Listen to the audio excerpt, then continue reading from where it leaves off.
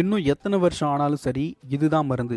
ரஜினிகாந்த் சொல்கிற மாதிரி ஒரு தடவை சொன்னால் நூறு தடவை சொன்ன மாதிரி நம்மளுடைய முன்னோர்கள் எழுதி வச்சுருக்காங்க. பொதுமக்களுக்கு சொன்னால் புரியாதுன்னு ஒரு பாட்டாகவே எழுதி வச்சுருக்காங்க. ஸோ அந்த பாட்டு என்ன அப்படின்றத தெளிவாக கேளுங்க. மூளைக்கு வல்லாரை முடிவளர நீலி நெல்லி ஈலைக்கு முசுமுசுக்கை எலும்பிற்கு இளம்பிரட்டை பல்லுக்கு வேளாளன் பசிக்கு சீரகமிஞ்சி கல்லீரலுக்கு கரிசாலை காமலைக்கு கீழா நெல்லி கண்ணுக்கு நந்தியாவட்டை காதுக்கு சுக்குமருள் தொண்டைக்கு அக்கரகாரம் தோலுக்கு அருகு வேம்பு நரம்பிற்கு அமுக்குரான் நாசிக்கு நொச்சி தும்பை உரத்திற்கு முருங்கைப்பூ ஊதலுக்கு நீர்முள்ளி.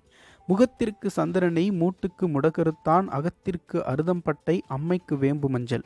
உடலுக்கு எள்ளெண்ணெய் உணர்ச்சிக்கு நிலப்பனை குடலுக்கு ஆமணக்கு கொழுப்பெதிர்க்க வெண்பூண்டே.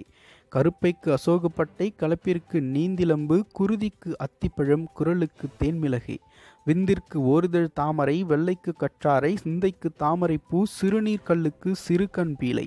கக்குவானுக்கு வசம்புத்தூள் காய்ச்சலுக்கு நிலவேம்பு விக்கலுக்கு மயிலிறகு வாய்ப்பு நீருக்கு மணத்தக்காளி. நீர்க்கோவைக்கு சுக்குமிளகு நீர் நீரிழிவிற்கு ஆவாரை குடிநீர் வேர்க்குருவிற்கு பனை நொங்கு வெட்டைக்கு சிறு சிறு படகி தீப்புண்ணா குங்கிலிய வெண்ணெய் சீழ்காதிற்கு நிலவேம்பு நாப்புண்ணிற்கு திரிபலா வேலன் நஞ்செதிர்க்க அவரி எட்டி. குருதி கழிச்சலுக்கு தொந்தி தேற்றான் குருதி கக்களுக்கு இம்புரல் வேர் பெரும்பாட்டிற்கு அத்தினாவல் பெருவயிற்றுக்கு மூக்கிரட்டை.